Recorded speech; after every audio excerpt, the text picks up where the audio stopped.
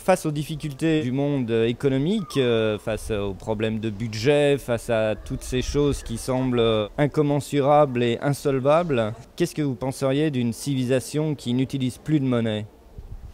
Bon, euh, ça c'est un, but à long terme. Je crois que pour y arriver, il faut euh, passer par une étape qu'on appelle l'économie solidaire.